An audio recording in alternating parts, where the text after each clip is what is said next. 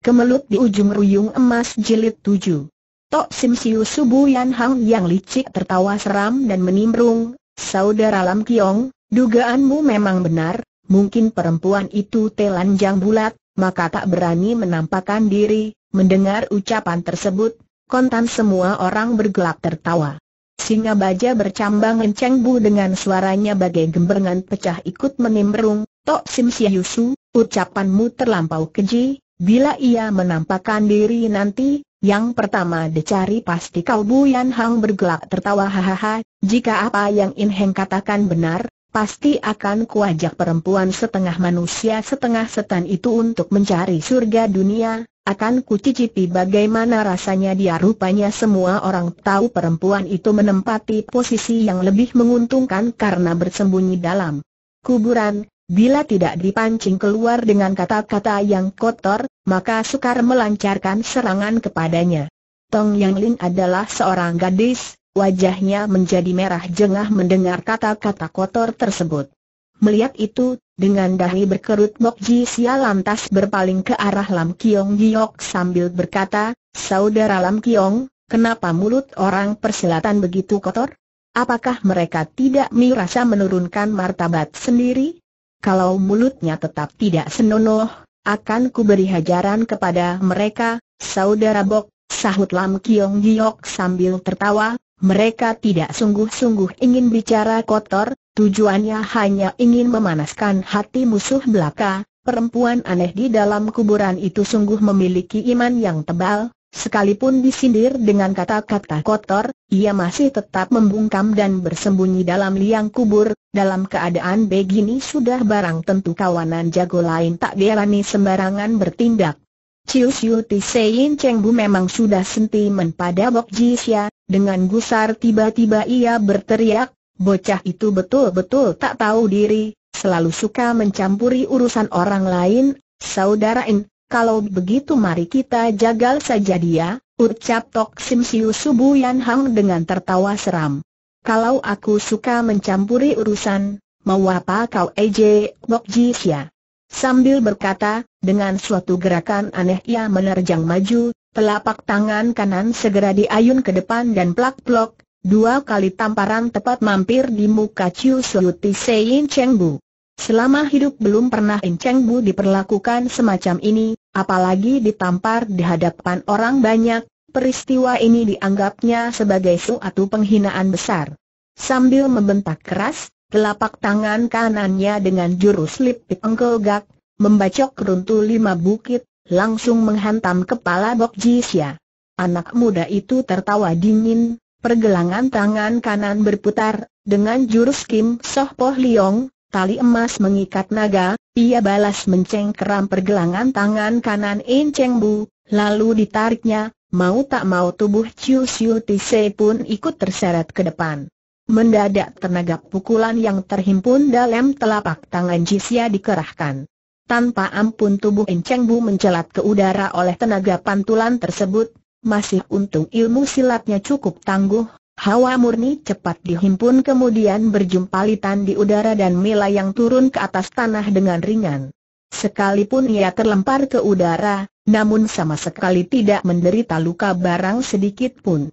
Sesudah mementalkan tubuh Enceng Bu, Bok Ji Xia mendorong pula telapak tangan kirinya ke depan, segulung tenaga pukulan yang kencang kembali menghantam tubuh Tok Sim Siu Gerak tubuh Bok Ji Xia yang aneh tapi sakti membuat tercengang semua orang, tapi sikap pemuda yang jumawa ini juga menimbulkan rasa marah orang-orang itu. Sejak pemuda itu memaki orang, diam-diam Tong Long Ling sudah was-was, apalagi setelah menyaksikan ia menyerang dua orang itu, ia jadi khawatir. Perlu diterangkan bahwa semua jago yang hadir saat itu hampir seluruhnya dendam kepada Bok Ji Sia, seandainya mereka sampai bekerja sama untuk mengerubutinya, biar pemuda itu berilmu tinggi, tapi dua tangan sukar menahan empat kepalan, apalagi kawanan jago yang hadir ini rata-rata adalah jago kelas tinggi. Ciu Siu Ti Sein Cheng Bu kembali menerjang ke depan, langsung ia menghantam dada Bok Ji Xia. Serangan ini merupakan kepandaian andalan In Cheng Bu, dahsyat sekali tenaga pukulannya. Setelah berulang kali memukul mundur musuh, Jisia rada memandang enteng musuhnya, tangan kiri. Yang menyerang Bu Yan Hang ditarik kembali dan digunakan menyambut serangan In Cheng Bu. Jisia mengira bentrokan kali ini pun pasti akan memukul mundur orang, siapa tahu kejadian sama sekali di luar dugaan. Begitu telapak tangan saling bertemu, Jisia segera merasakan keadaan tidak beres, dia ingin mengerahkan tenaga untuk melawan, sayang terlambat. Tenaga pukulan In Cheng Bu yang hebat itu mendampar hingga Ji Xia sempoyongan mundur 4-5 langkah dari posisi semula. Sebaliknya Cian Chiao Tochu, si singa baja bercambang In Cheng Bu merasakan pula tenaga tolakan yang aneh muncul dari balik telapak tangan lawan, walaupun Ji Xia dipaksa mundur 4-5 langkah, tapi In Cheng Bu sendiri pun tergetar mundur beberapa langkah dengan terkejut. Diawasinya wajah Jisya dengan termangu, ia tak mengira pemuda yang tak ternama ini memiliki tenaga dalam sesempurna ini. Padahal ia sudah menggunakan hampir seluruh tenaganya, ia yakin musuh pasti terluka dan nama sendiri akan menonjol. Nyatanya sekarang tenaga pukulan yang dilatihnya selama puluhan tahun itu dapat ditangkis lawan dengan begitu mudah, sekalipun lawan kena dipaksa mundur beberapa langkah, tapi jelas diketahui Ji Xia belum menggunakan seluruh kekuatannya. Tiba-tiba Bok Ji Xia menerjang maju dengan gusar, bentaknya, sambut seranganku lagi dengan jurus Tui Santian Hei, mendorong bukit membendung samudra, ia bacok In Cheng Bu sekuatnya. Ciu Siu Ti Sein Cheng Bu juga menjadi gusar, sambil memutar telapak tangan kanan ia sambut pukulan tersebut dengan keras lawan keras. In Heng, jangan takut, Xiao Te membantumu Tok Sim Sui Subu Yan Hang membentak nyaring, dengan jurus sing. Hang Hut Liu, mengikuti angin membabat pohon, ia hantam punggung Ji Xia. Serangan ini dilancarkan dengan sergapan dari belakang, betul-betul ancaman yang berbahaya. Perlu diketahui, sejak bertarung dengan Xia di Gardu Bobrok semalam, Hektu Sukai telah mengetahui bahwa pemuda itu berilmu tinggi, Bila dibiarkan hidup terus sehingga tenaga dalamnya bertambah sempurna, maka akibatnya akan menjadi bibit bencana terbesar bagi kaum Mokling. Sebab itulah timbul niat jahat mereka, sewaktu di dalam gardu bobrok, mereka mengira Lam Kiong Giok akan turun tangan untuk melenyapkan Ji Sia, siapa tahu malah dilepaskan pergi. Kini, setelah melihat tenaga dalam Ji Sia menunjukkan kemajuan dalam pertarungan melawan In Cheng Bu, hawa nafsu membunuh mereka makin berkobar.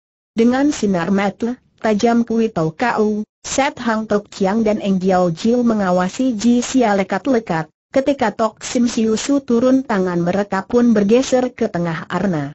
Ji Sia tidak menyangka In Cheng Bu berani menyambut serangannya dengan kekerasan, Ketika dua gulung tenaga saling bentur, buru-buru anak muda itu manfaatkan tenaga pantulan dan melayang keluar arna, dengan gerakan indah ia berhasil melepaskan diri dari sergapan Tok Sim Siu Semua gerakan indah dan lincah ini membuat air muka Lam Kiong Giok berubah hebat, pikirnya, orang ini berusia sebaya denganku, kenapa ilmu silatnya selihai ini? Entah Ciampu manakah yang menjadi gurunya sementara itu, Tok Sim Siu Subu Yan Hang sedang berteriak saudara In, Bocah ini rada bahaya, dibiarkan hidup akan menimbulkan bencana buat kita, mari kita bekerja sama.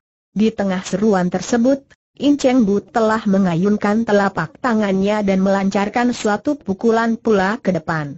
Inilah ilmu Pek Poh Chuan Yang Kun, pukulan seratus kaki menembus pohon, andalan Chiu Siu Tisei. Angin pukulan seperti putaran roda cepatnya menggulung ke depan. Satu ingatan terlintas dalam benak Bok Ji Xia, ia bergeser dua langkah ke samping, dari kejauhan ia melepaskan pukulan balasan. Kemajuan yang dicapai Bok Ji Xia boleh dibilang pesat sekali, kini bukan saja ia dapat menggunakan tenaga sekehendak hati, bahkan tenaga dalamnya sangat hebat, pukulan yang dilontarkan seenaknya saja tidak kepalang lihainya. Tapi In Cheng Bu merasakan kekuatan pukulan itu tidak terlalu besar, segera tangan kanan Mi lepaskan pukulan lagi dari jauh. Ujung baju Ji siap berkibar terembus angin, tahu-tahu ia sudah berkelit lagi ke samping, kedua tangannya segera diayunkan dan sekaligus menyerang Cheng Bu dan Tok Sim Siu Su.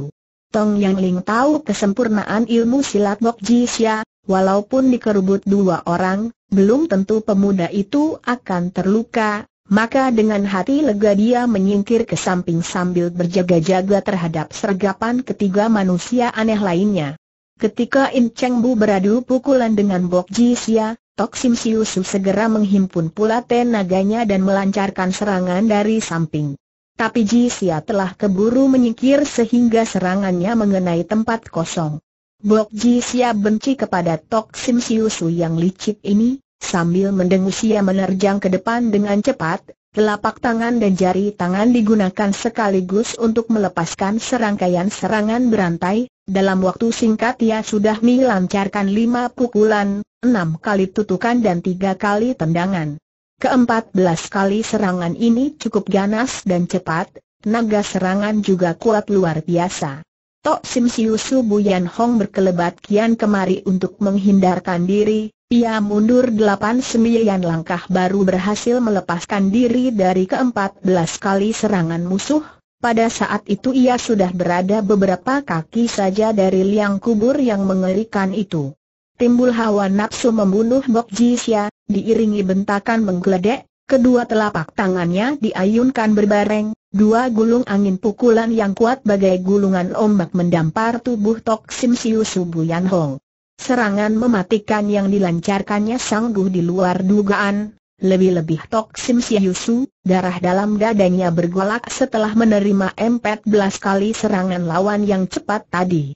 Tok Sim Siusu Buyan Hang sadar bila serangan itu disambut dengan kekerasan, akibatnya dia akan terluka parah bahkan mungkin akan mati muntah darah, maka satu-satunya jalan adalah mengelak.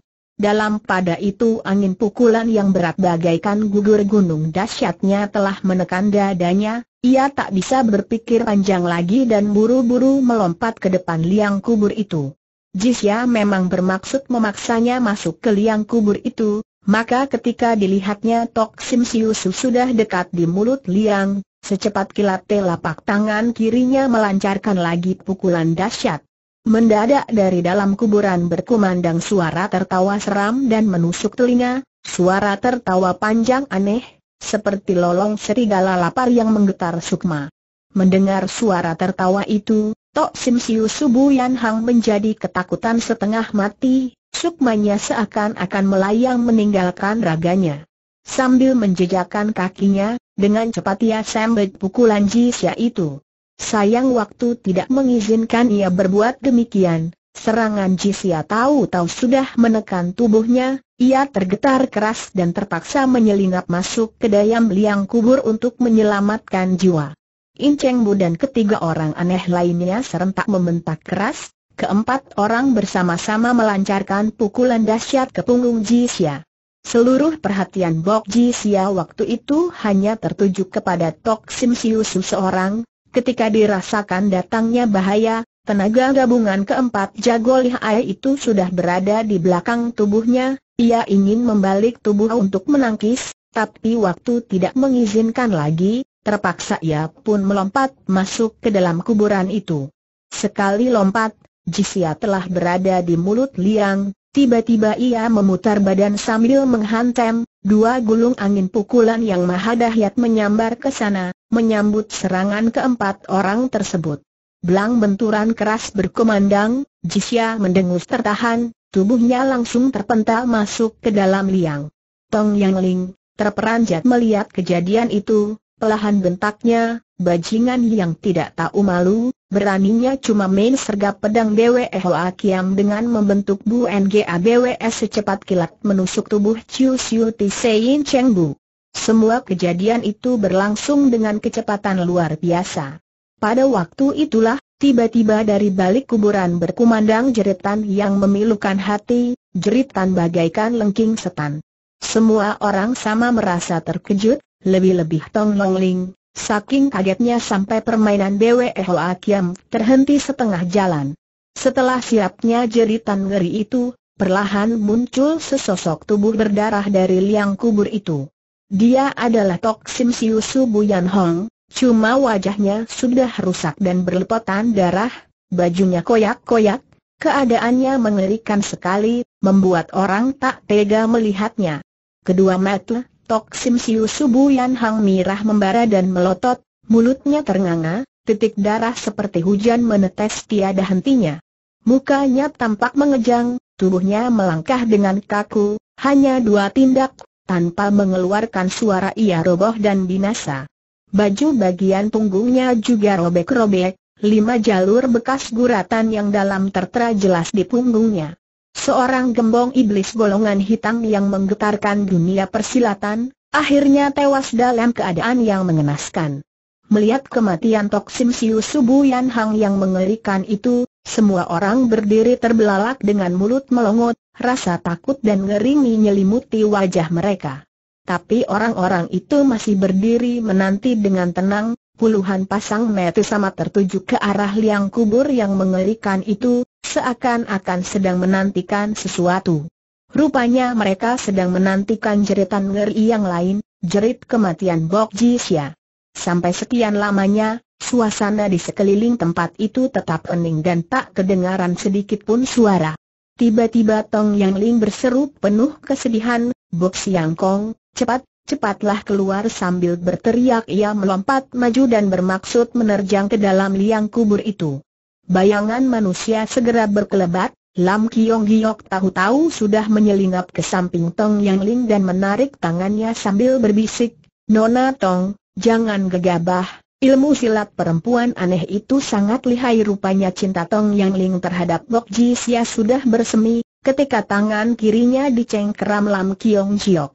Sambil melepaskan diri bentaknya, Lam Kiong Giok, kenapa kau menghalangi aku masuk ke situ? Air muka Lam Kiong Giok agak berubah, tapi segera sahutnya sambil tertawa, Nona Tong, Aku khawatir kau akan mengalami kejadian yang tidak menguntungkan. Kau kira ia sudah tertimpa musibah? tanya Yang Ling dengan sedih. Lam Kiong Giok berpikir sebentar, kemudian jawabnya, sudah sekian lama ia masuk ke situ hingga sekarang tiada tanda apa pun, kukira dia, jika dia mati, aku harus masuk ke situ untuk membalaskan dendam baginya tunggulah sebentar lagi, jika ia belum keluar, akan kutemani dirimu masuk ke sana dan membalas dendam, kata Lam Kiong Jiok. Tong Yang Ling tertawa dingin. Kau bermusuhan dengan dia, bila ia mati, memangnya kau tidak merasa gembira Nona Tong, kenapa kau berkata demikian? Sejak mula aku tidak pernah menaruh rasa dendam kepadanya, kalau begitu sekarang juga kita masuk ke situ dan membunuh perempuan keparat itu kiranya Tong Yang Ling tahu jika dia harus masuk seorang diri, jelas kepandaiannya bukan tandingan perempuan dalam kuburan itu, maka ia sengaja bikin hatinya panas dan berharap pemuda itu mau masuk ke liang kubur itu bersamanya. Mendengar ajakan tersebut, Lam Kiong Giok mengunjuk wajah serba salah, ia adalah seorang yang cerdik, Tentu saja ia pun mengetahui akan kelihayan perempuan aneh dalam kuburan itu, terutama kekejian serangannya. Melihat pemuda itu membungkam, dengan tertawa dingin Tong Yang Ling kembali menyindir, Lam Kiong Giok, kau pun takut padanya? Sesungguhnya diam-diam Lam Kiong Giok menaruh cinta kepada Tong Yang Ling, ia tak ingin menunjukkan kelemahannya di hadapan orang perempuan, maka sahutnya dengan tertawa, Nona Tong, Aku hanya khawatirkan kau tertimpa sesuatu yang tak terduga, kalau kau tak mau masuk, biar aku masuk sendiri ujar gadis itu dengan sedih. Selesai berkata dia lantas menerjang masuk ke dalam liang kubur itu. Entah mengapa ternyata Lam Kiong Giok segera ikut masuk ke dalam kuburan, ia berbisik, Nona Tong, entengkan langkahmu, jika bukan tandingannya nanti, lebih baik cepat-cepat kita keluar lagi, seakan-akan berhadapan dengan musuh tangguh, sambil menghimpun tenaga dalamnya perlahan mereka menyusup ke dalam kuburan. Waktu itu, kawanan jago silat yang hadir telah dibuat ketakutan oleh kehebatan perempuan aneh dalam kuburan, ketika menyaksikan Lam Kiong Giok dan Tong Yang Ling menyelusup ke dalam liang tersebut, mereka tak berani bergeser maju barang selangkah pun, puluhan pasang mata sana tertuju ke arah kuburan besar itu. Suasana dalam kuburan gelap gulita, melihat jari tangan sendiri saja sukar, setelah masuk ke dalam, kedua orang itu berhenti dan mulai memeriksa keadaan sekeliling tempat itu. Sekalipun kedua orang itu terhitung jago lihai yang bertenaga dalam sempurna, tapi mereka tak mampu melihat keadaan sebenarnya dalam kuburan itu, Tong Yang Ling sendiri meski dapat melihat dalam kegelapan karena kebiasaan dalam penjara air Tian Sempo tempo hari. Sekarang dia hanya bisa melihat segala sesuatu dalam jarak satu tombak jauhnya. Ruangan kuburan itu lebar sekali, suasana terasa menyeramkan. Sesudah berdiri sekian lama, kedua orang itu baru meneruskan perjalanan lebih ke dalam. Ternyata satu tombak di dalam sana terdapat undak-undakan batu yang menjurus ke bawah. Tong Yang Ling dan Lam Kiong Giok menuruni anak tangga batu itu, tiba-tiba mereka melihat sesosok bayangan hitam sedang berduduk bersila di depan sana, serentak mereka berhenti. Tiba-tiba bayangan orang yang duduk bersila itu berpaling dan mengulapkan tangan, memberi tanda kepada mereka. Tong Yang Ling dan Lam Kiong Giok dapat melihat bahwa orang itu tak lain adalah Bok Ji Xia. Pada saat itulah mendadak Lam Kiong Giok mengayunkan tangan kanannya, segulung tenaga pukulan yang kuat segera menerjang Ji Xia. Harus diketahui bahwa Lam Kiong Giok adalah seorang licik dan berhati keji, ia sudah tahu Ji Xia berilmu tinggi, sejak pertama kali bertemu dulu sudah timbul ingatan untuk mencelakainya, maka demi melihat Ji Xia masih hidup, nafsu membunuhnya segera timbul, ia pura-pura tidak melihat jelas orang itu adalah Ji Xia, hingga seandainya pemuda itu sampai binasa oleh pukulannya, Tong Yang Ling pun tak dapat menyalahkan dirinya. Yang Ling memang tidak menyangka Lam Kiong Giok berniat membunuh Bok Ji Xia, apalagi serangan itu tidak menimbulkan suara, maka meski gadis itu berada di sampingnya juga tidak merasakan niat busuknya itu. Agaknya segera Bok Ji Sia akan termakan oleh serangan maut manusia licik itu. Pada saat itulah tiba-tiba dari dalam kuburan muncul embusan angin dingin yang secara diam-diam memunahkan. Tenaga pukulan Lam Kiong Giok itu. Jisya merasakan juga angin dingin tersebut, Telapak tangan kanannya segera berputar dan segulung angin pukulan cepat menyambar ke arah datangnya serangan itu. Dia mengira perempuan aneh itu hendak menyergap kedua orang itu, maka ia memberi bantuan. Tapi serangan yang dilancarkan tersebut sama sekali tidak menimbulkan reaksi apa-apa, bahkan lenyap dengan begitu saja.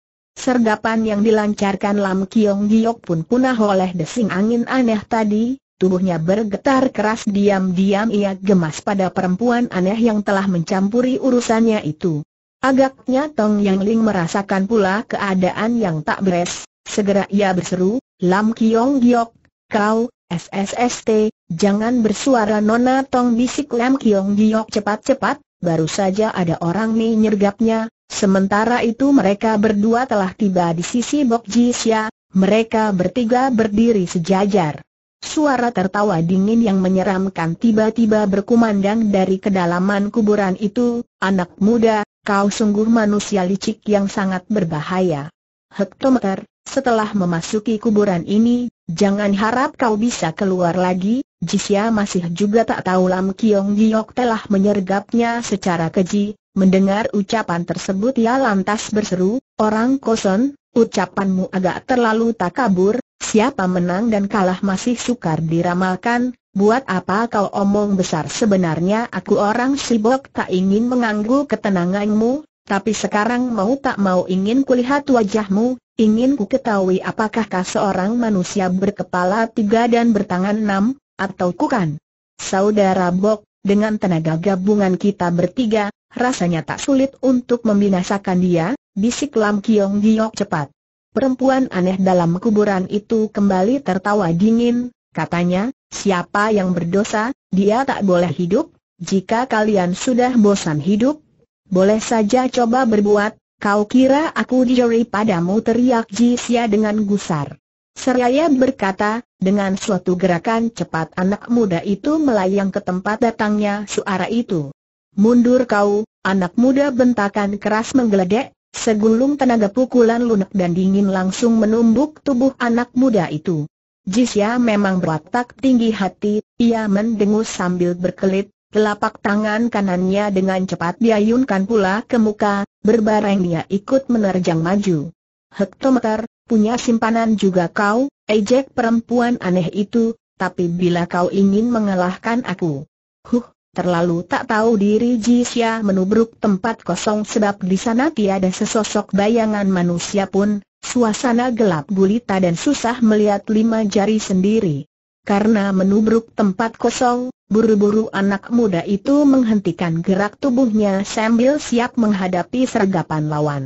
Saudara Bok, Lam Kiong Giok segera berseru, cepat kembali ke tempat semula, jangan sampai termakan oleh siasat busuk lawan padahal Lam Kiong Giok sama sekali tak mengkhawatirkan keselamatan Jisya, sebab sejak masuk ke dalam kuburan, ia telah merasa perempuan aneh itu tidak bermaksud mencelakai anak muda tersebut, ia khawatir jika Jisya meninggalkannya, maka perempuan aneh itu akan turun tangan keji kepadanya secara tiba-tiba. Apa yang diduga Lam Kiong Giok ternyata benar, perempuan aneh dalam kuburan itu memang tidak bermaksud mencelakai jiwa Bok Jisya, kalau tidak, dengan serangan mautnya, kendati pun sepuluh orang Bok Jisya juga amblas jiwanya. Begitu mendengar seruan Lam Kiong Giok, dengan cepat Jisya melompat kembali ke tempat semula. Dari balik kegelapan berkumandang lagi dengusan menghina, lalu perempuan aneh itu berkata dengan suara dingin, anak muda, kau benar-benar tak tahu diri. Hektometer, betapa licin pun jangan harap kau bisa meninggalkan tempat ini sesungguhnya perkataan perempuan aneh itu ditujukan kepada Lam Kiong Giok, tapi Bok Ji Sia salah paham dan mengira perkataan itu ditujukan kepadanya. Dengan mendongkol dia mendengus, sahutnya, kau sendiri licin dan berbahaya, pandainya cuma mencelakai orang dari tempat kegelapan, bila punya kepandaian ayolah bertarung 300 gebrakan dengan orang sibuk ini, Kau orang baik dan berbudi luhur, tapi orang persilatan kebanyakan berhati licik dan busuk, orang jujur semacam dirimu akhirnya tentu akan dicelakai orang. Kedatanganku kemari bukan untuk mendengarkan nasihatmu, kata Jisya dengan marah, bila kau tidak menampakkan diri lagi, jangan menyalahkan aku akan melancarkan serangan secara membabi buta, untuk kesekian kalinya ku peringatkan padamu agar mundur dari sini, kata perempuan aneh itu lagi, bila berhenti lebih lama lagi di sini, berarti kau cari penyakit sendiri Lam Kiong Giok tertawa dingin, hehehe, dengan susah payah kami dapat masuk kemari, jika tidak bertemu muka dulu dengan jago liai semacam kau, apakah aku takkan merasa menyesal untuk selamanya Ji Siap berseru pula dengan dingin, boleh saja bila kau minta kami mundur dari sini, tapi wajah aslimu harus kami lihat dulu. Enci yang baik, Timbrung Yongling, kedatangan kami ke kuburan ini tidak bermaksud membalas dendam, kami datang terdorong oleh rasa ingin tahu saja, belum habis ucapannya, tiba-tiba dari luar kuburan berkumandang beberapa kali jeritan NGRI. Kiranya para jago persilatan di luar kuburan itu samar-samar mendengar Jisya sedang bercakap-cakap dengan perempuan aneh itu, mereka mengira ada kesempatan baik, empat orang dari Kiam Hang Cheng segera menyelinap masuk ke dalam kuburan, tapi segera mereka dibinasakan oleh perempuan aneh tersebut. Dari jeritan yang memilukan hati, Jisya sekalian lantas mengetahui bahwa di luar kuburan korban kembali berjatuhan, keruan mereka terperanjat, sebab mereka sama sekali tidak melihat bagaimana caranya perempuan aneh itu melancarkan serangannya. Ini berarti jika ia mau membunuh mereka bertiga, dengan pukulan yang tak kelihatan itu, mereka pasti tak sanggup mengelak. Berpikir demikian, tanpa terasa mereka bertiga mempertinggi kewaspadaan dan diam-diam menghimpun tenaga. Di antara ketiga orang itu, Lam Kiong Giok paling berat perasaannya, sebab perempuan aneh itu telah berkata hendak membinasakan dia. Lam Kiong Giok sadar, malam yang panjang akan mendatangkan impian yang banyak, berada terlalu lama di sini tidak menguntungkan dirinya. Maka kepada Jisya ia berbisik, Bo Heng, lebih baik kita tinggalkan tempat ini untuk sementara waktu, ayo kita keluar sekarang Jisya tertegun, ia tak habis mengerti kenapa Lam Kiong Giok secara tiba-tiba berubah pikiran. Saudara Lam Kiong, bisiknya, bukankah kita hendak melabrak di alam Kiong Giok tersenyum, lain waktu masih banyak kesempatan buat bertarung dengan dia, kecuali selama hidup dia berdiam di kuburan ini, sekarang dia berada di tempat gelap dan kita ada di tempat yang terang, jelas kita akan rugi besar, maka lebih baik kita keluar saja ai anak muda, jangan berpikir muluk-muluk, EJ, perempuan aneh itu dari sisi kiri, hihehe, bukan pekerjaan gampang untuk meninggalkan tempat ini. Mendengar seruan tersebut, Jisya, Lam Kiong Giok dan Tong Yang Ling cepat berpaling. Beberapa kaki di sebelah sana tampak berdiri sesosok bayangan yang ramping menawan hati, cuma sayang terlalu gelap sehingga sukar melihat jelas raut wajahnya. Lam Kiong Giok tertawa terbahak-bahak, katanya, selama hidup aku Lam Kiong Giok tak pernah jari kepada siapa pun, bila kau paksa orang terus-menerus, maka aku pun terpaksa mengiringi kehendakmu dengan mempertaruhkan selembar jiwaku. Lam Kiong Giok memang berotak tajam dan licik, setelah mengetahui perkembangan urusan ini, dengan tenang ia menghadapinya tanpa rasa takut. Hal ini tentu saja dikarenakan dasar silatnya memang tinggi dan pengalaman cukup. Keberanianmu memang mengagumkan seru perempuan aneh itu dengan suara dingin. Bagus. Bagus sekali. Biar ku sempurnakan keinginanmu, ucapan tersebut sedemikian dinginnya hingga boleh dibilang sama sekali tidak bernada manusia, membuat siapa pun yang mendengar akan bergidik. Perlahan perempuan aneh itu mengangkat telapak tangan kirinya, di tengah kegelapan tertampaklah selapis warna putih gemerlap pada telapak tangannya. Lam Kiong Giok terkejut, pikirnya, ilmu apa ini sekalipun ia berpengetahuan luas, Sulit juga untuk menebak asal-usul ilmu pukulan orang. Perempuan aneh itu sama sekali tidak melepaskan serangannya, hanya dengan matanya yang tajam dia awasi Bok Jisya, ia seperti terperanjat, sinar matanya berhenti pada wajah pemuda itu dan Mi mandangnya dengan terbelalak. Lantaran dalam ruangan itu gelap gulita, sekalipun sepanjang tahun ia hidup dalam kuburan itu dan terbiasa dengan kegelapan, tetap tak berhasil melihat jelas Jisya, hanya dirasakan raut wajah orang sudah dikenalnya dengan baik.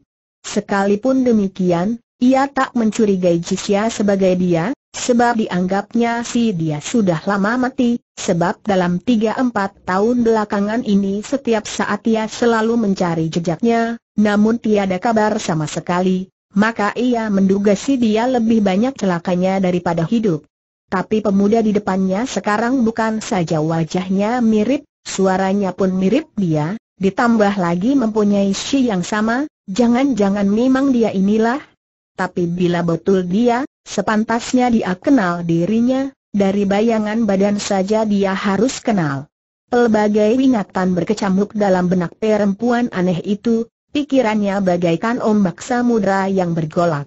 Mendadak perempuan aneh itu menghela napas sedih, lalu bertanya, orang sibok, siapakah namamu? Pertanyaan ini membuat bingung orang, Jisia tertegun sejenak, lalu sahutnya, buat apa kau tanya namaku? Ah, tidak bermaksud apa-apa, aku hanya ingin tahu namamu saja. Kita tak pernah saling mengenal, lebih baik jangan pula sembarangan tanya nama orang lain, jika tidak penting, kukira tidak perlu kukatakan.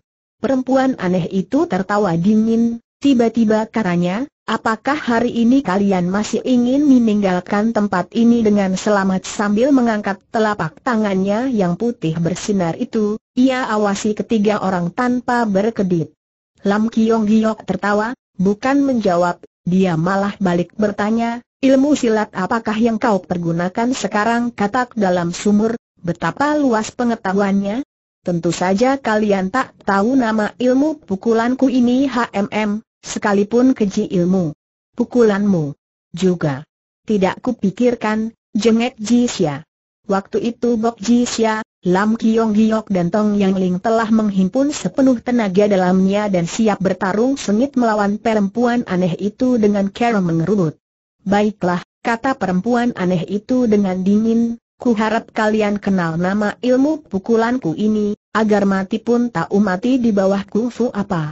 Inilah ilmu pengsian Jit Gua Chiang, pukulan matahari rembulan berhawa dingin, yang sudah lenyap dua ratusan tahun lamanya dari dunia persilatan begitu mendengar nama ilmu pukulan tersebut, Lam Kiong Giok merasakan dadanya seperti dipukul dengan martil, diam-diam keluhnya dalam hati, habislah riwayatku kali ini, habis.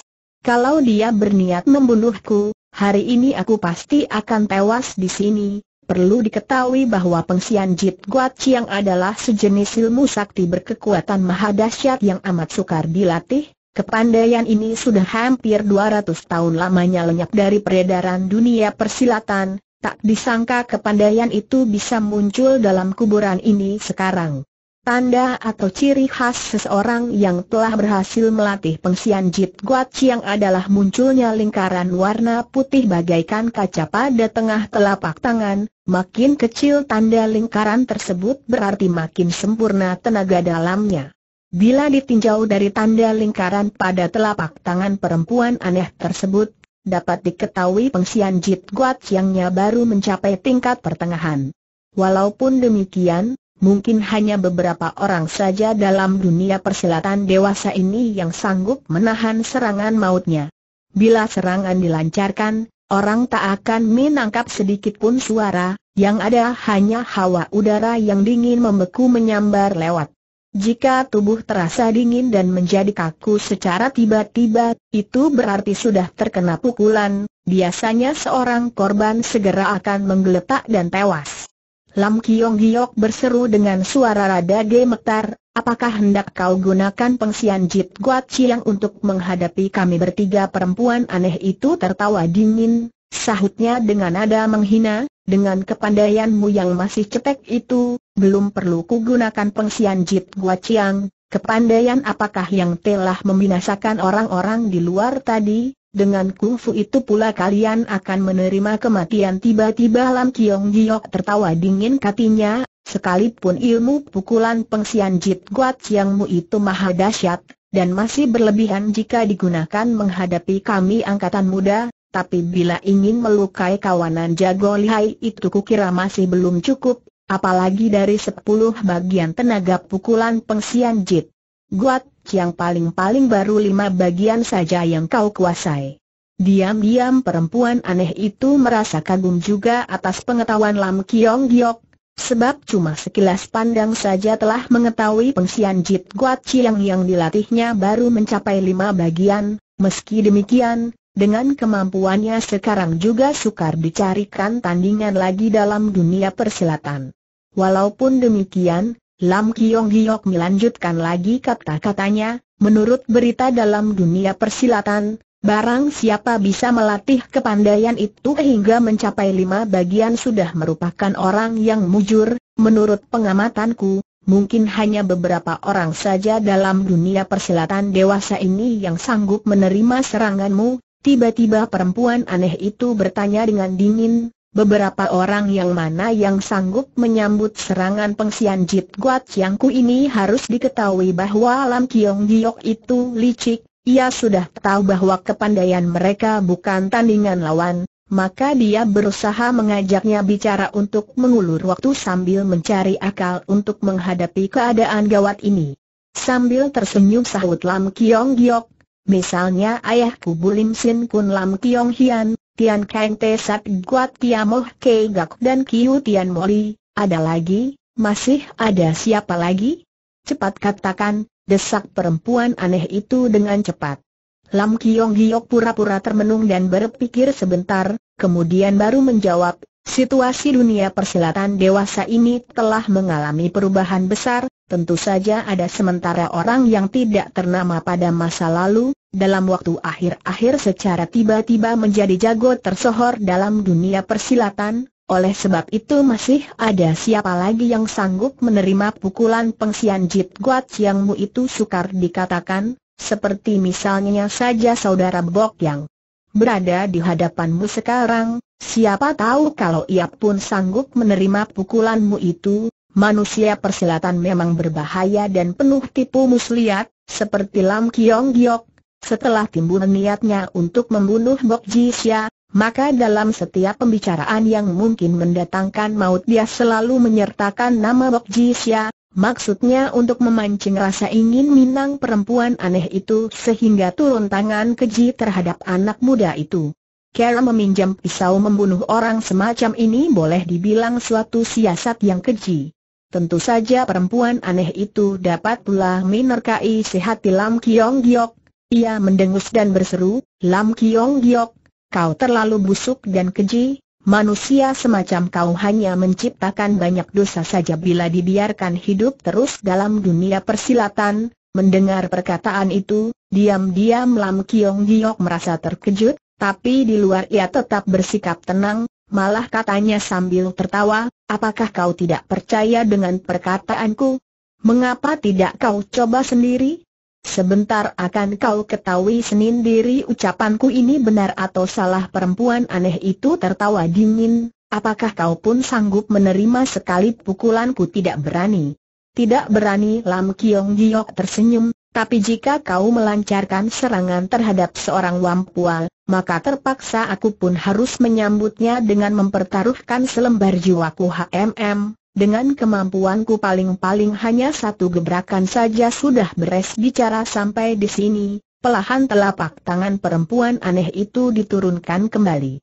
Diam-diam Lam Kiong Giok menghembus napas lega, katanya lagi sambil tertawa, apakah aku boleh tahu siapa nama Lo Chiam Po Lam Kiong Giok memang benar-benar pandai melihat gelagat, dengan sikapnya yang ramah tamah ini, sekalipun perempuan itu hendak membunuhnya, Sulit juga turun tangan dalam waktu singkat, apalagi perempuan aneh itu memang tidak menaruh rasa dendam padanya. Kau masih belum pantas untuk tanya namaku jawab perempuan aneh ketus. Ucapan ini sangat takabur dan cukup membuat orang gemas atau mendongkol.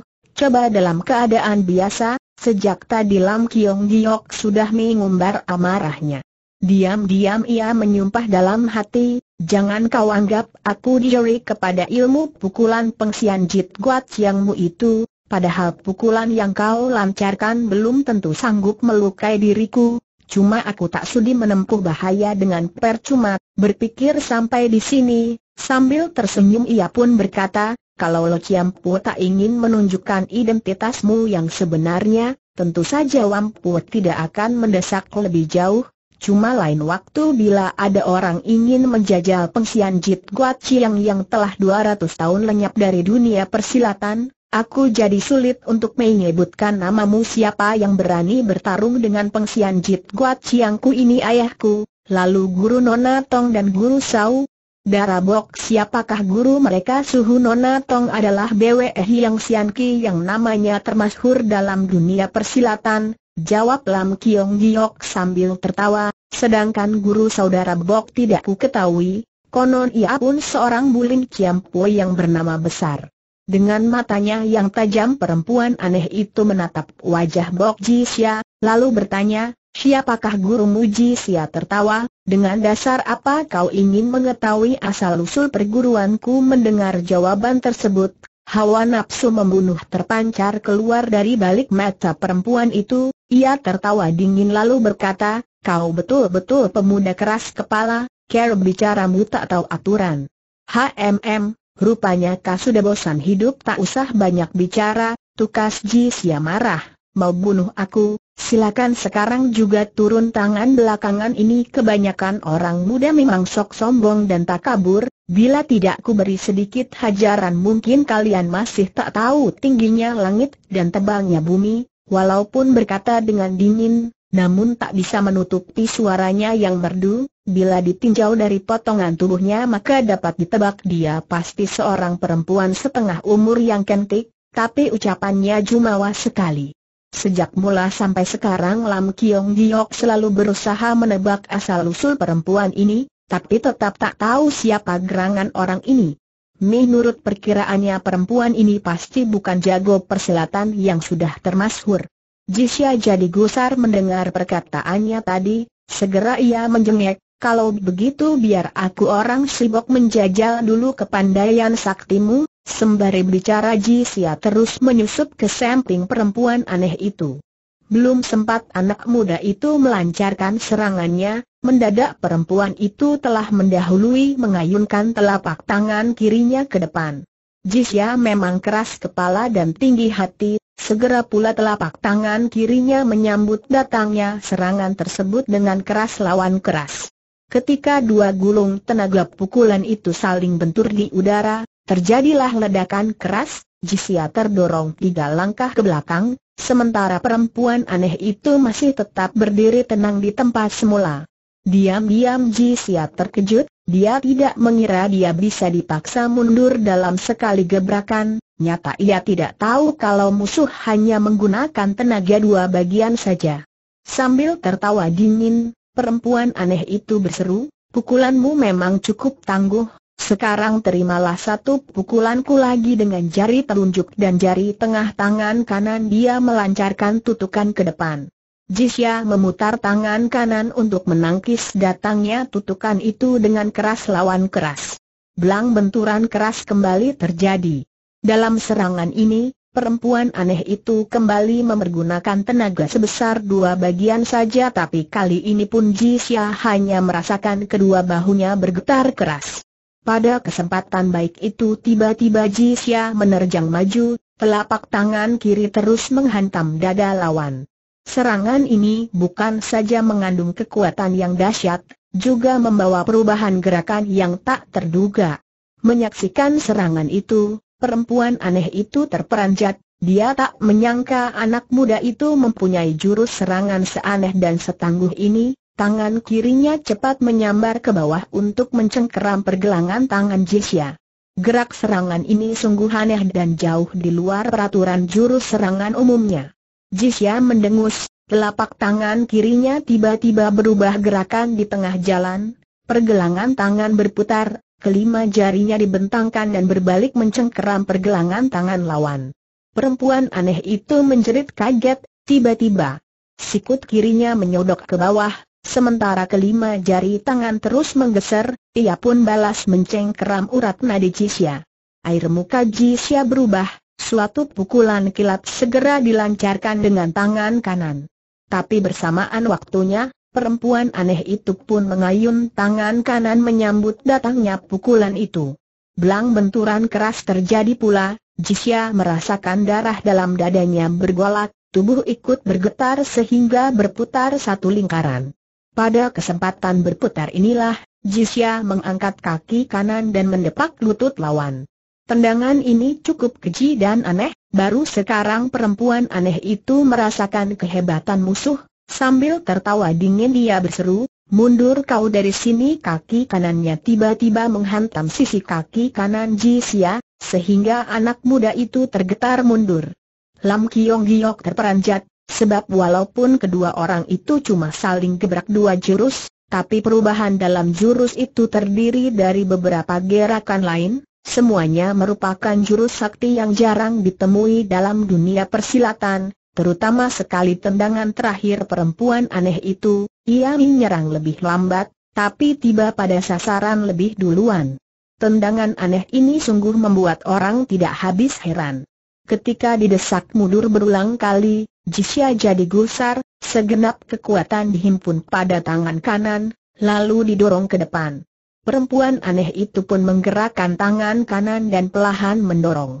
Supaya diketahui, dalam pertarungan antara sesama jago liai, setiap gerak tangan maupun kaki bisa jadi mendatangkan kematian bagi musuh. Di tengah dorongan kedua orang itu terkandung kekuatan yang maha dahsyat, Seandainya kekuatan itu tidak saling membentur, hakikatnya orang lain tak dapat melihatnya dengan jelas. Tiba-tiba di antara kedua orang itu berhembus lewat segulung angin, sekali lagi Jisya tergetar mundur sejauh beberapa langkah. Jisya mendengus, mendadak kedua telapak tangannya didorong lagi ke depan. Ternyata sesudah melancarkan pukulan tadi, tiba-tiba Jisya merasakan hatinya berdebar keras, ia merasa tenaga tekanan musuh sedemikian besarnya bagaikan ombak mendampar dan sukar ditahan.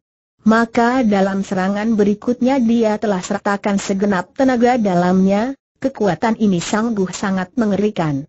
Ketika memukul mundur Jisya kali ini, perempuan aneh itu telah mempergunakan tenaganya sebesar tiga bagian, tapi sesudah terjadi benturan, ia merasa terkejut sekali, tak disangkanya pihak lawan yang muda itu ternyata memiliki tenaga dalam sesempurna itu. Sementara ia masih tercengang, Jisia telah mendorong lagi kedua telapak tangannya ke depan, ia tetap mempergunakan tenaganya sebesar tiga bagian.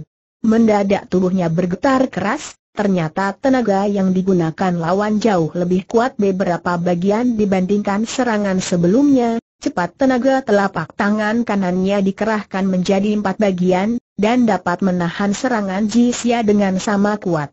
Rupanya nasibnya mujur, perempuan aneh itu berhasil mendapatkan kedua pil JKHI, Kun Goan Sinwan, tenaga dalamnya sekarang telah mencapai dua kali 60 tahun hasil latihan, menurut perkiraannya, dengan kekuatan tersebut ia bisa menjagoi dunia persilatan dan membalas sakit hatinya, siapa tahu sekarang berjumpa dengan pemuda semacam Mok Ji Xia, yang terbukti sanggup menahan empat bagian tenaga pukulannya. Dalam kejut dan gusarnya dan membentak, telapak tangan kanan menghantam pula, kali ini tenaga dalamnya dari empat bagian ditingkatkan menjadi lima bagian. Jisya menjerit tertahan, ia terpental sejauh beberapa tombak dan muntah darah, ia sempoyongan lalu jatuh terduduk.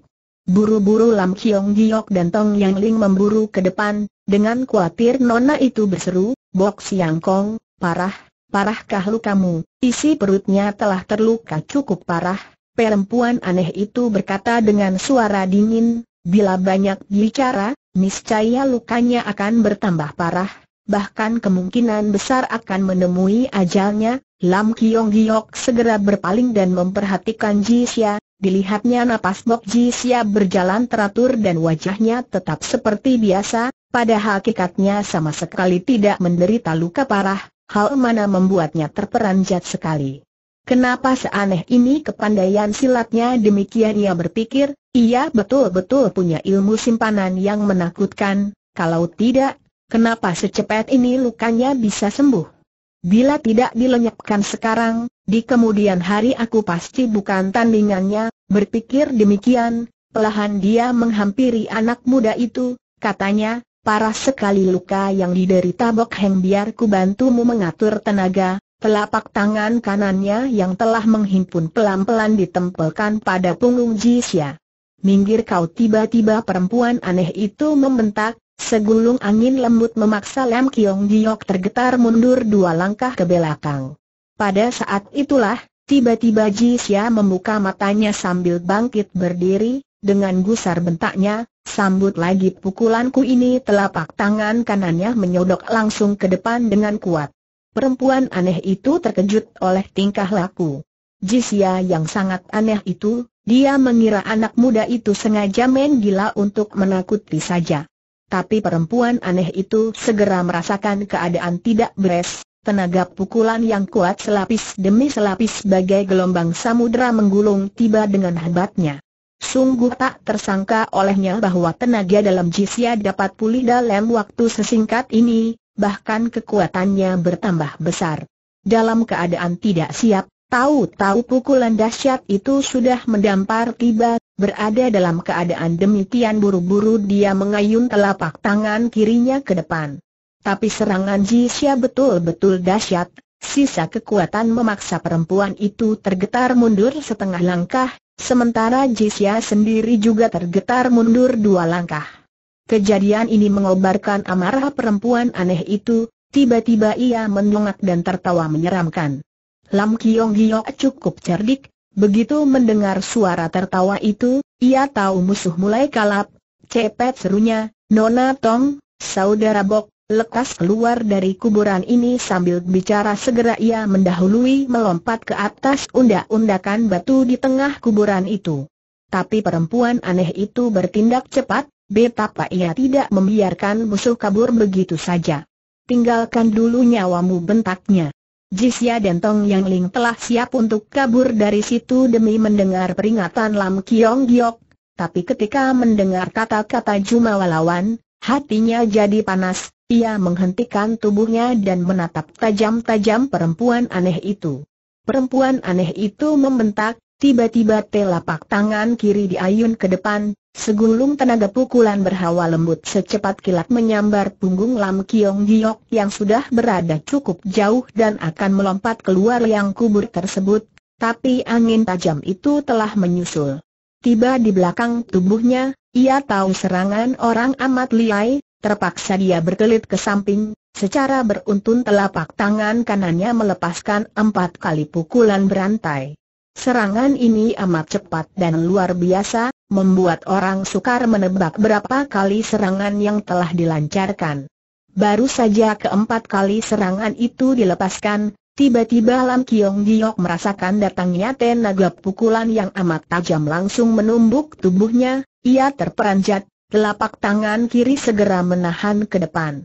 Ketika sampai setengah jalan, tiba-tiba seperti anak panah terlepas dari busurnya Lam Kiong Giok meluncur keluar kuburan.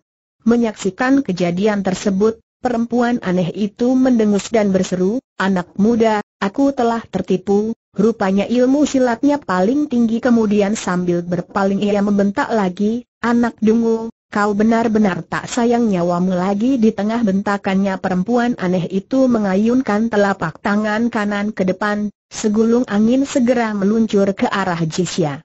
Bagus sekali bentak Jisya, Ingin kulihat dengan mengandalkan apa kau berani sejumawa ini. Suatu pukulan dilancarkan pula dengan telapak tangan kanan, angin menderu dan menggulung tubuh perempuan aneh itu. Anehnya serangan Jisya ini tidak menumbuk serangan yang dilancarkan lawan, tapi langsung menghantam tubuh perempuan aneh itu. Perempuan itu mengebaskan telapak tangan kiri, lalu mendengus tertahan, tubuhnya bergetar dan mundur tiga empat langkah dengan sempoyongan. Jelas tak enteng lukanya termakan oleh serang Anjisya ini, tapi dengan demikian justru telah membangkitkan nafsu. Membunuhnya terhadap pemuda itu. Sesungguhnya perempuan aneh ini tidak bermaksud mencelakai Jisya, bahkan beberapa kali menolongnya secara diam-diam, tapi serangan yang dilontarkan untuk memunahkan serangan gelap Lam Kiong Giok pada Jisya itu telah disalah tanggap oleh Jisya, malahan Jisya sempat menghantam perempuan itu. Maka setelah menegakkan tubuhnya, sambil tertawa dingin perempuan aneh itu berseru, kalau kau ingin mencari kematian sendiri, jangan salahkan aku akan bertindak keji bagaikan hantu ia terus menerjang maju dengan cepat.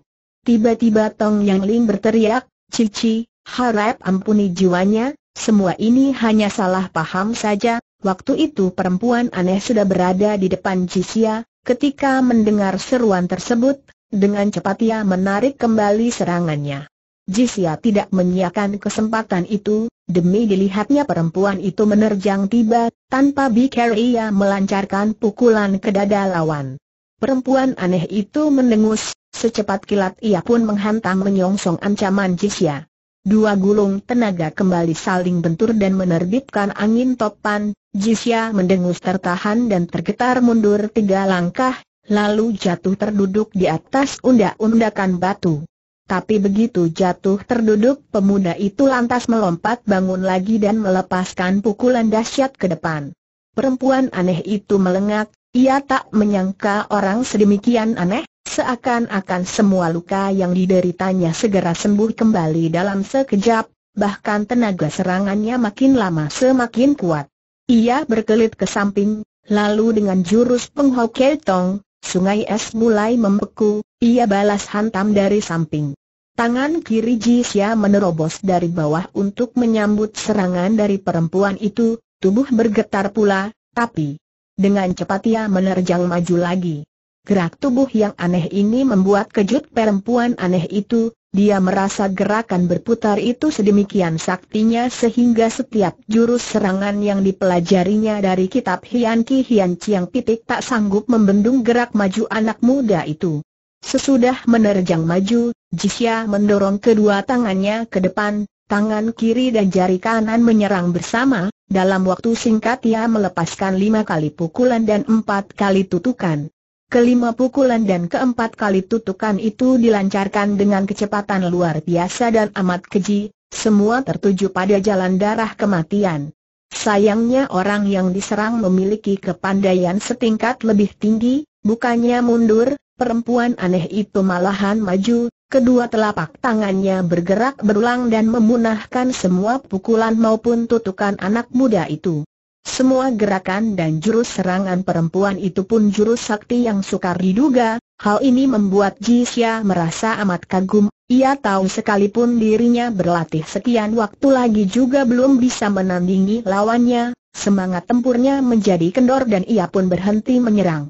Perempuan aneh itu tertawa dingin, katanya tiba-tiba, sekarang tiba giliranku untuk melancarkan tiga kali serangan. Segera ia menerjang maju, tangan kiri menyapu dan tangan kanan menyodok ke depan. Jisya merasakan di balik serangannya tersebut banyak terkandung gerak perubahan yang aneh, untuk sesaat ia tak berhasil menemukan care pemecahannya, karena tak berani menyambut dengan kekerasan, maka cepat ia menyingkir ke samping. Perempuan aneh itu kembali tertawa dingin dan berkata, kau orang yang tahu diri, kenapa tidak kau sambut seranganku ini?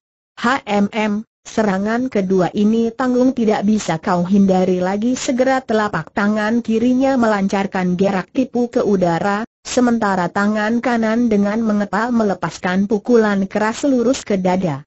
Jisya tertegun, ia merasa serangan ini belum pernah dilihatnya, Lamat-lamat ia merasa di balik kelima jari tangan yang mengepal itu terkandung jurus mematikan yang sangat lihai.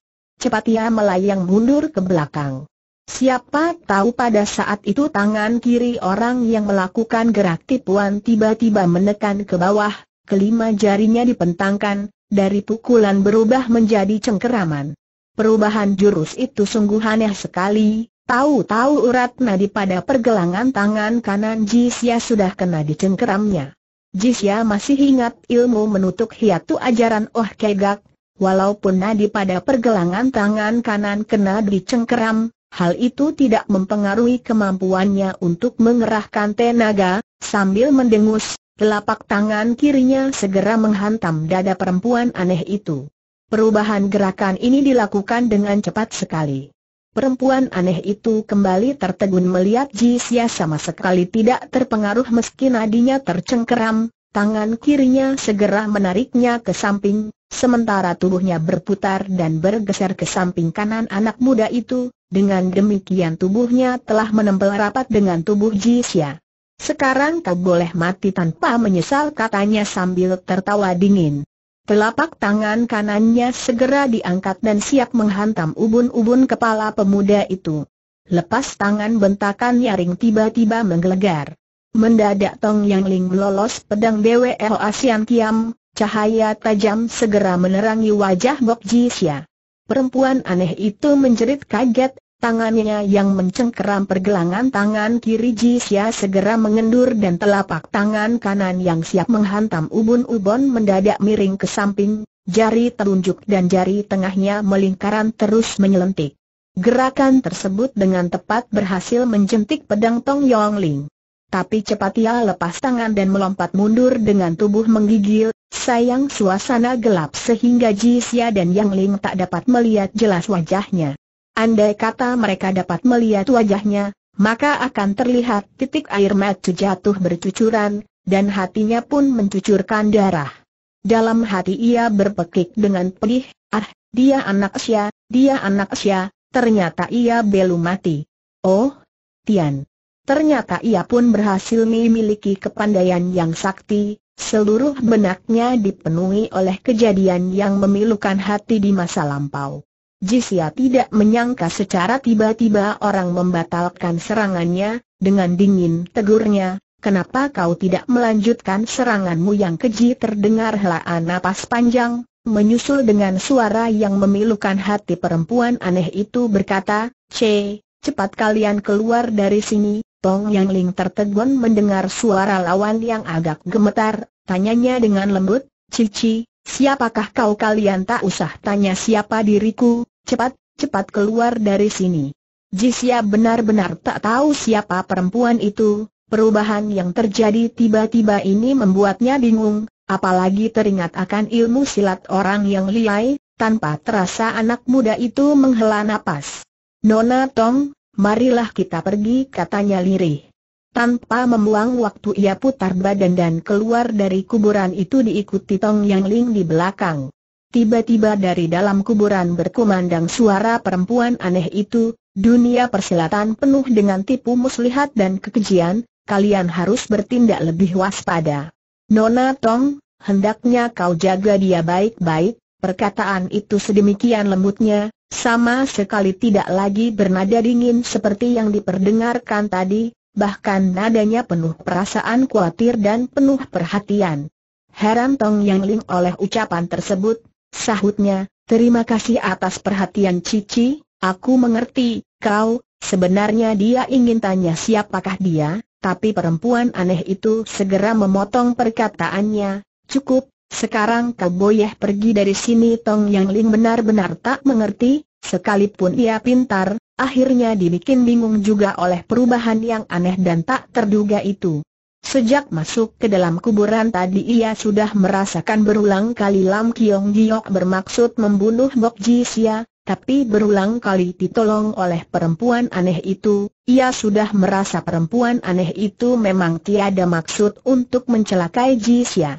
Tapi ucapan Ji Sia yang terlalu kasar, akhirnya membangkitkan nafsunya untuk membunuh tapi pada serangan terakhir tadi, tiba-tiba ia mundur secara mendadak, agaknya perasaannya mengalami pergolakan keras. Satu ingatan dengan cepat terlintas dalam benak nona ini.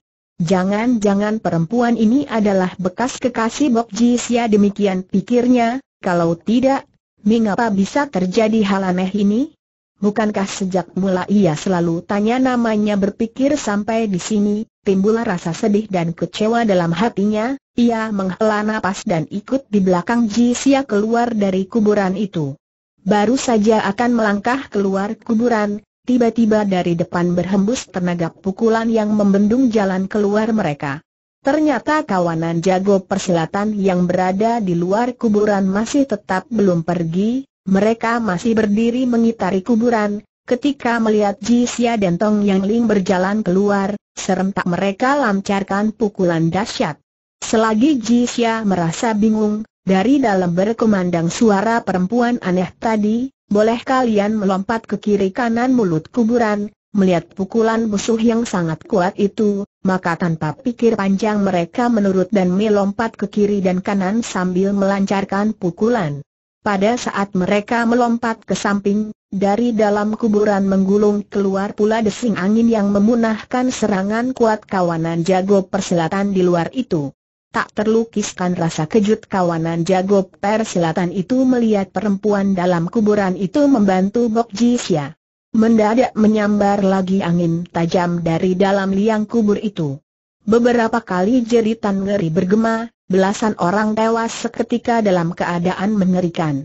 Suasana menjadi gempar, kawanan jago sama melompat mundur keluar ruangan itu. Dengan suatu gerak cepat Ji Xia dan Yang Ling segera melompat menuju ke ruang tengah. Dengan sinar mata, tajam Ji Xia memandang sekejap sekeliling tempat itu, kemudian membentak, siapakah yang menyergap kami berdua? Tian Kang Tiamoh buat mengelus jenggotnya dan tertawa terbahak-bahak, hahaha, saudara Bok, Sahabatmu sendiri yang membangkitkan semangat orang banyak untuk menyerangmu sahabatku siapa tanya Ji Xia. Dalam pada itu Eng Jiao Jiu Hao Wei Kang tiba-tiba menyusup ke belakang Ji Xia, kesepuluh jarinya terentang lebar dan secepat kilat mengancam bagian jalan darah penting di punggung anak muda itu. Saudara Bok, awas sergapan dari belakang mendadak Lam Kiong Giok berteriak. Dengan suatu lompatan cepat ia menerjang maju sambil melancarkan pukulan ke tubuh Eng Jiao Jiu Hao Wei Keng. Gusar sekali Eng Jiao Jiu Hao Wei Keng karena Lam Kiong Giok menggagalkan serangannya yang nyaris merenggut jiwa lawan itu, teriaknya keras, bagus sekali Lam Kiong Jiok. Ternyata kau malah membantu musuh untuk memusuhi kami, kau betul-betul tidak bersahabat, Saudara Hou jangan salah paham sahut Lam Kiong Giok sambil tertawa tergelak, sesungguhnya aku justru telah menolong jiwamu Jisya merasa berterima kasih kepada Lam Kiong Giok atas bantuan yang diberikan, mendengar perkataan itu katanya kepada Eng Jiao Jiu sambil tertawa dingin, terus terang ku beritahukan padamu, andai kata Lam Kiong Giok tidak menyerangmu, sejak tadi kau sudah mampus di bawah serangan balasan Kulam Hiong Giok tersenyum, sambungnya, saudara Hau, sekarang tentunya kau percaya maksud baikku bukan mendengar perkataan itu, Eng Jian Jiu jadi bingung hingga untuk sesaat termangu. Padahal Lam Kiong Giok berbuat demikian lantaran kuatir roh kuat menunjukkan bahwa dia yang menganjurkan agar semua orang turun tangan. Membunuh Bok Ji Xia. Oleh karena itu dia pura-pura memukul mundur Reng Jiao Jiu agar rasa curiga Bok Ji Xia terhadapnya bisa dihilangkan. Sebab menurut perhitungannya, lebih baik bermusuhan dengan Eng Jiao Jiu daripada memusuhi Bok Jisia, siapa tahu tindakannya itu justru malah mendatangkan dua hasil sekaligus.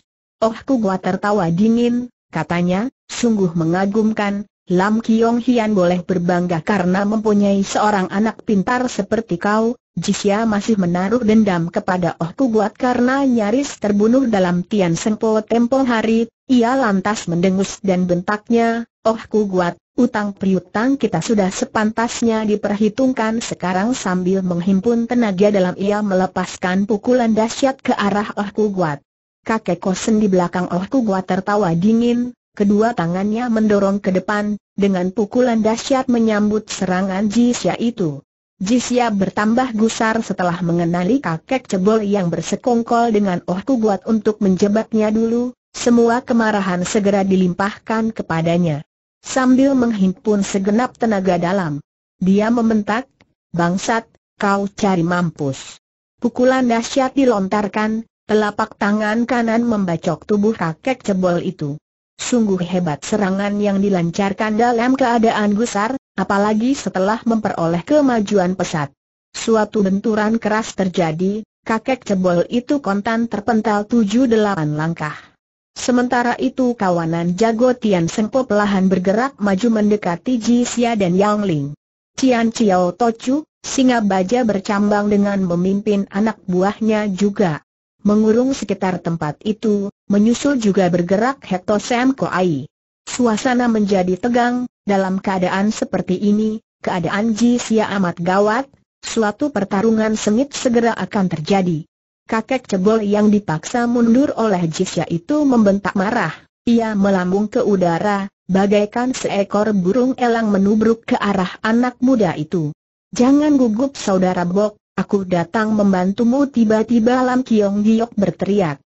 Tangan kanannya dikebaskan ke muka, empat jalur sinar secepat kilat menyambar batok kepala Bok Jisya.